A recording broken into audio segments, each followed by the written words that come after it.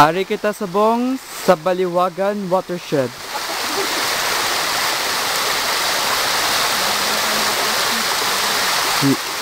Limpyo na tubig pwede mainom. Certified sa Department of Natural Resources. Sabi ba? Kaya ka, ba?